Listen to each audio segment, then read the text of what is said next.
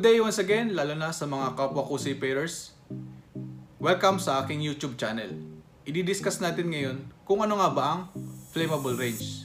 So ito ay isa sa mga common questions during inspection lalo na sa mga sumasakay ng tanker vessels.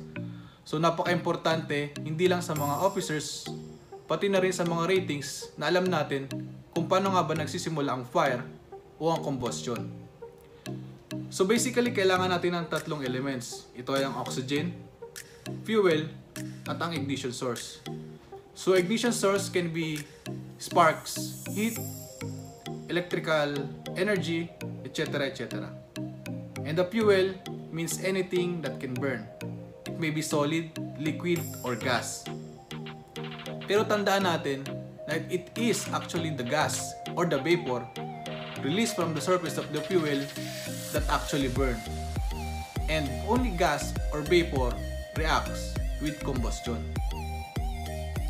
So the minimum amount of gas or vapor necessary to support combustion is called lower explosive limit or the LEL. And below this level, the mixture is too lean that it cannot support combustion even if ignition source is introduced katulad ng sparks. So dahil napakababa ng amount ng gas, hindi ito magka-create ng combustion kahit na merong sapat na oxygen at merong ignition source.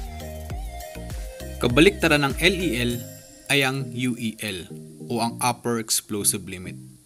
It is the maximum concentration of a gas or vapor that will burn in air. So above this level, combustion will not occur due to too much or too rich concentration. Dito napakataas ng amount ng gas at mababa naman ang amount ng oxygen which cannot create combustion. Only about 11% of oxygen is required to start the combustion process. So below 11%, kahit na may ignition source, hindi pa rin magka-create ng combustion. It will only be considered combustible kapag bumaba ang concentration ng gas at tumaas naman ang amount ng oxygen. The range between the LEL and the UEL is called flammable range. Within this range, combustion or even explosion may happen if ignition source is introduced dahil merong enough oxygen and gas concentration that can support combustion. So each gas or vapor has its own characteristics for LEL and UEL. So napaka-importante na titingnan natin ang MSDS o ang Material Safety Data Sheet ng bawat cargo. So punta tayo sa difference between percent LEL and percentage volume. The difference is that the percent LEL is actually a portion of the volume range. So in methane, LEL is 4.4% in volume is equal to 100% LEL. You can say that it is 100% LEL if the reading is 4.4% volume in a gas meter.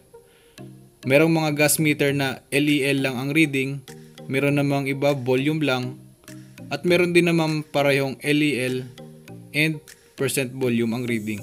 So importante na alam natin paano nga ba mag-convert ng percent LEL into percentage volume. So here's the formula. V is equal to A multiplied by the LEL over 100.